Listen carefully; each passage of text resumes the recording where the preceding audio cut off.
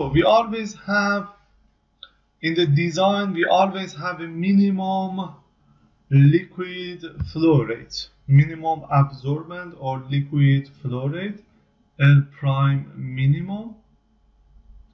Or sometimes we also write it in this way L prime.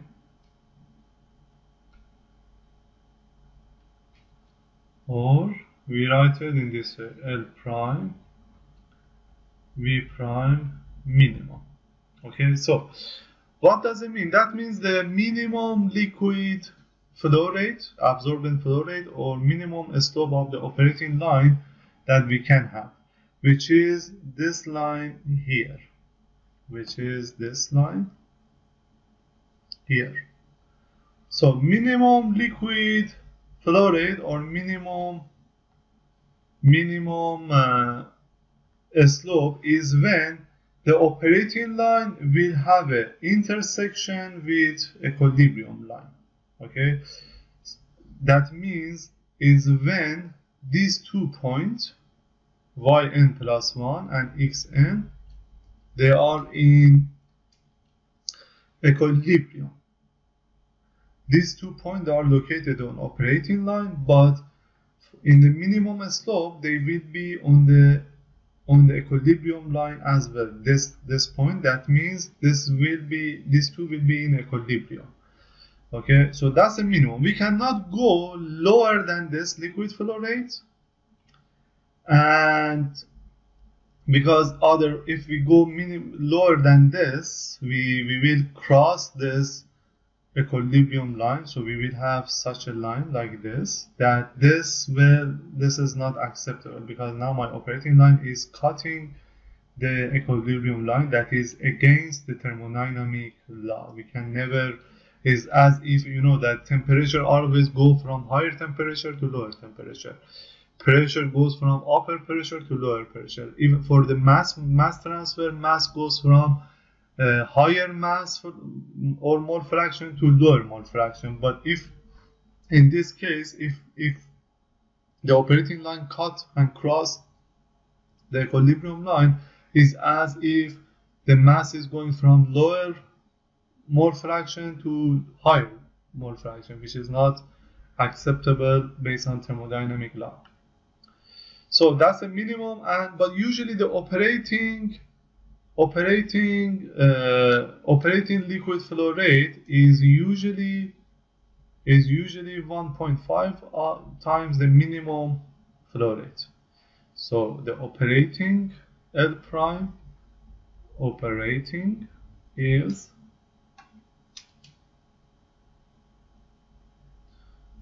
one point five times minimum L prime this is something that usually we use this value.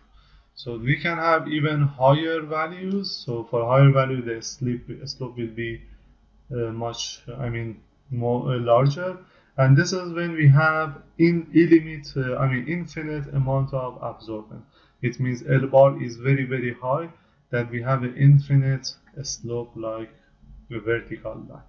Those are this is just an imaginary you know operating line that never exists so this operating line, this one is the most common operating line that we have in absorber, this one here. Now, okay.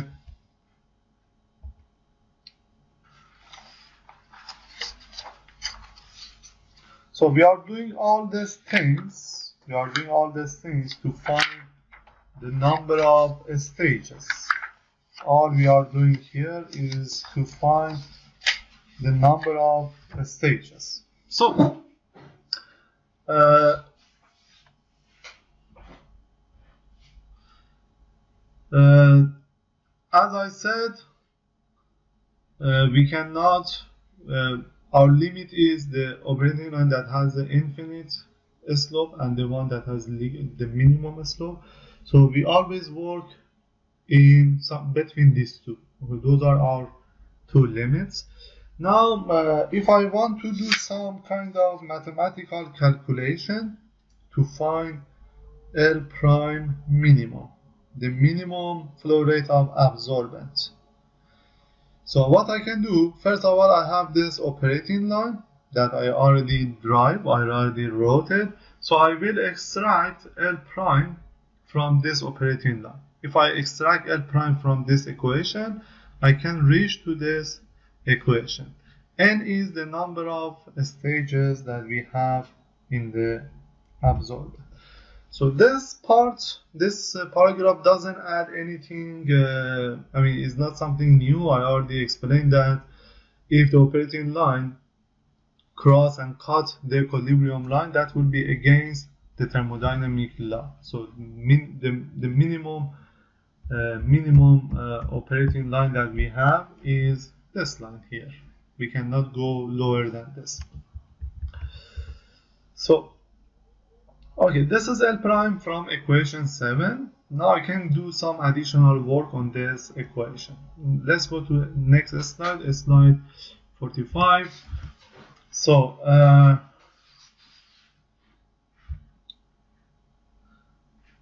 so as I said, in L prime minimum, xn and yn plus 1 they are in equilibrium with each other.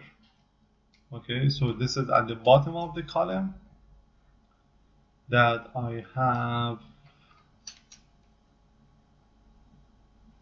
I have one uh, what's that really?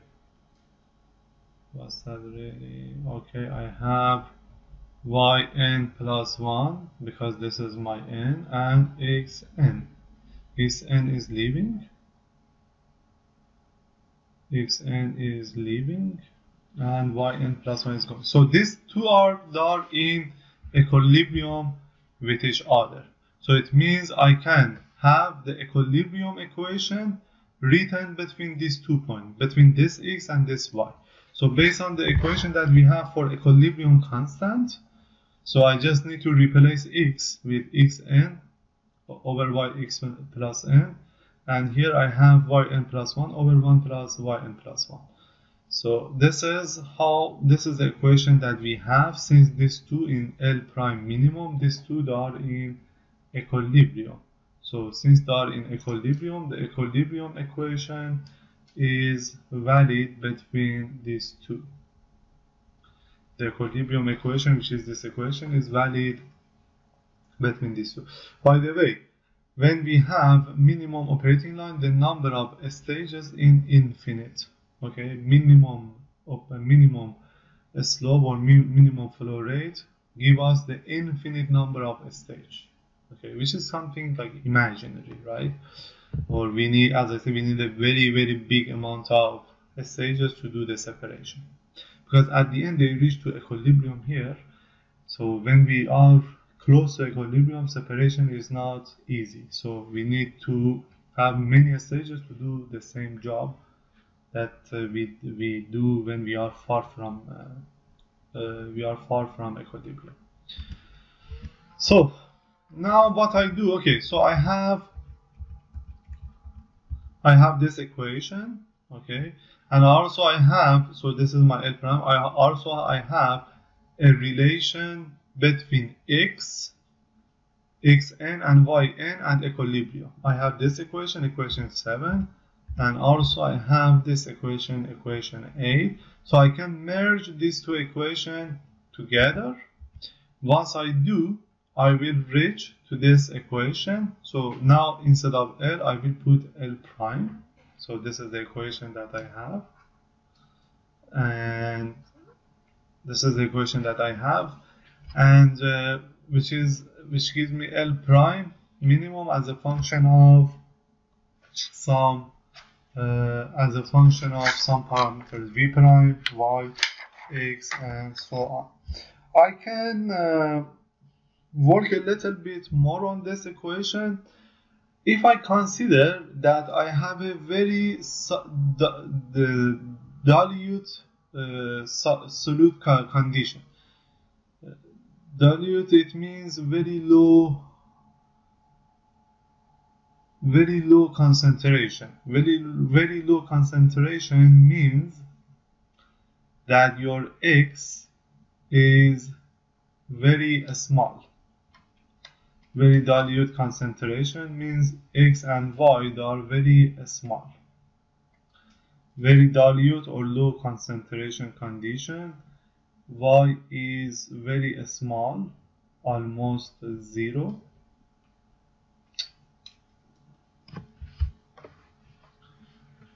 Very small almost zero. And x is also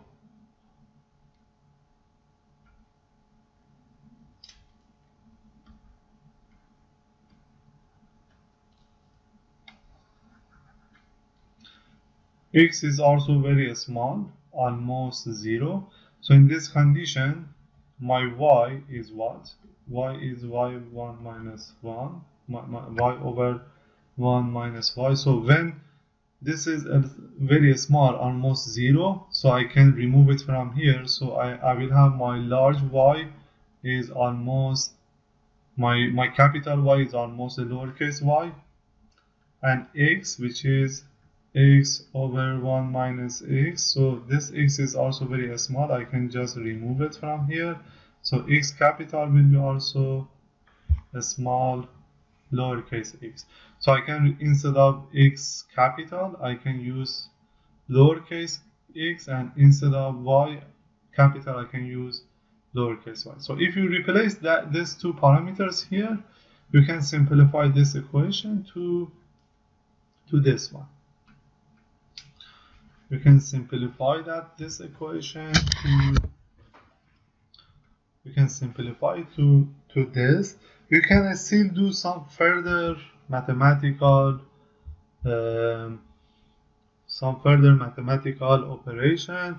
Just rearrange this based on uh, based on different parameters based on x or y and you can you know like replace this y x with each other and at the end you will reach to this equation.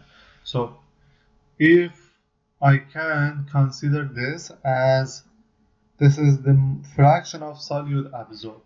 So how much solute is absorbed in reality? My solute arrives at this concentration and leaves at this concentration. So this is how how much it is absorbed.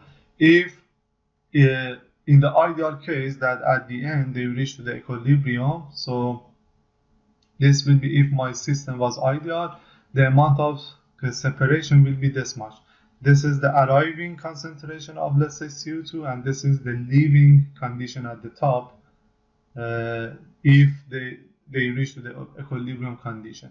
So I can just replace this with a simple word so my L prime can be L prime minimum can be V prime times Kn times this this part. This part is the fraction of solute absorbed divided I mean the fraction of solute absorbed comparing with the ideal situation. No need to to memorize this or even write this. It's just some I have to explain to you what is this equation and what we can do with this. So we can find L prime minimum by using this equation.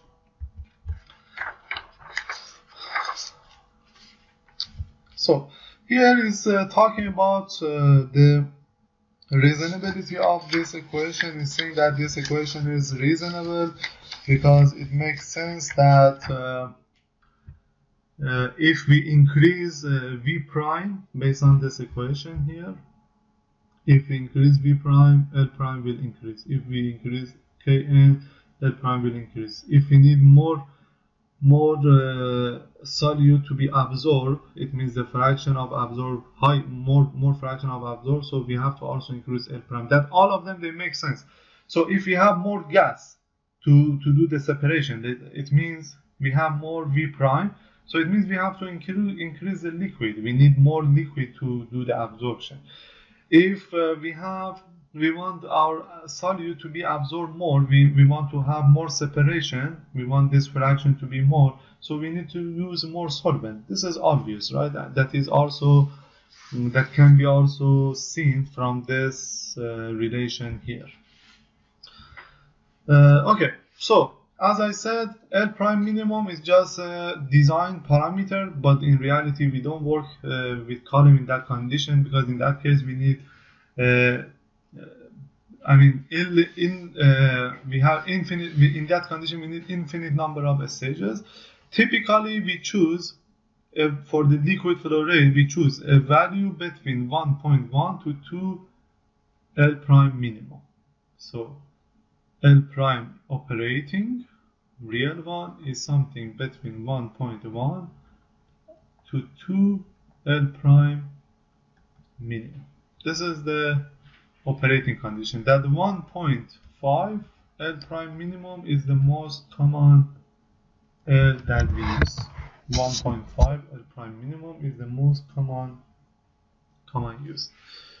Okay. 1.5 or 1.4 those are the commonly used value for the separation